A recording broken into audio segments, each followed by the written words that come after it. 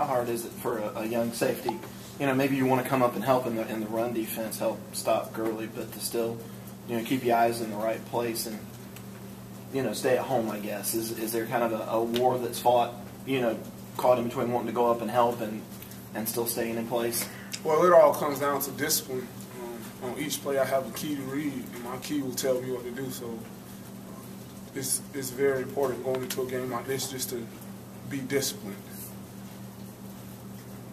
A lot of outside observers uh, see the secondary as one of the top concerns. So much youth back there. You guys ready to show what you got on Saturday? I mean, how confident are you guys that y'all aren't going to be concerned?